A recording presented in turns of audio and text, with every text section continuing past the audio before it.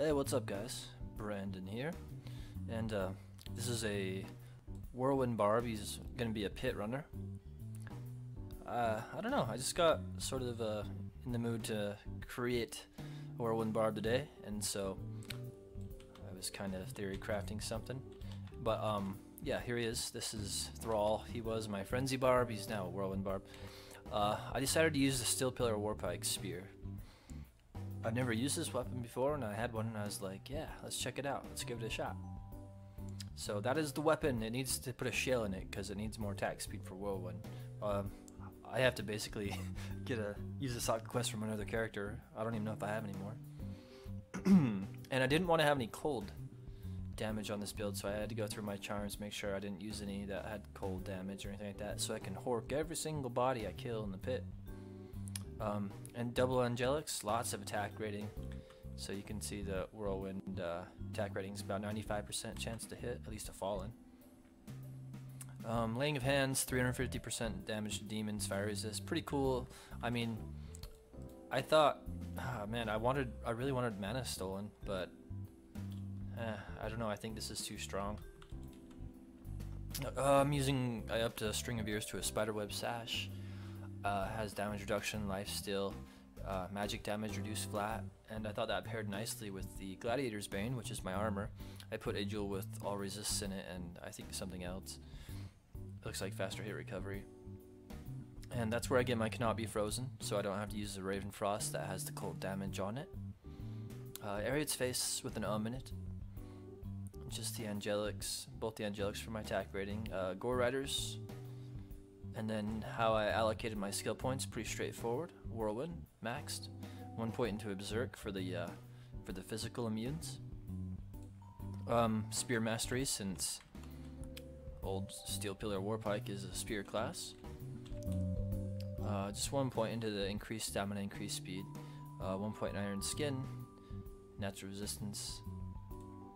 Uh, my war cries, so max battle orders, Max Shout, pretty, pretty sturdy, tanky boy. And uh, yeah, that's it. Uh, so find item, it's about you know 30% right now, and it'll be boosted a little bit by battle orders, but it's no big deal. So yeah, and then on Switch, double isted Blade of Alibaba. I still need to find two more ists. I guess I made some stuff and I used all my ist runes, my mal runes. So he's just under, with all of his stuff, just under 200 or a 300 magic find. But once I find two more ist runes, he'll be about three, a little bit over 350. But um, he performs pretty well, I'd say. I don't know.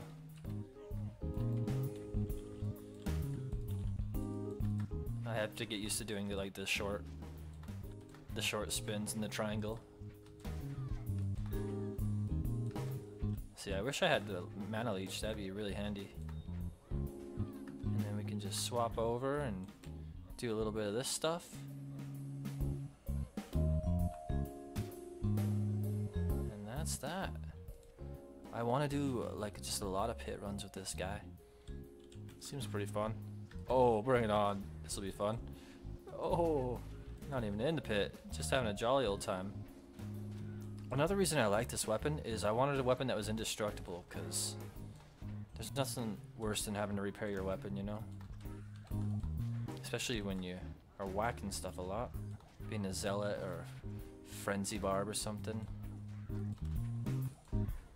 We're gonna be doing a lot of horking here, I tell you. But yeah, so I'm gonna do just a ton of pit runs. I don't want to do like just a hundred run video. I'm probably gonna have this like a long-term project where I guess I could choose Berserk for that, but whatever.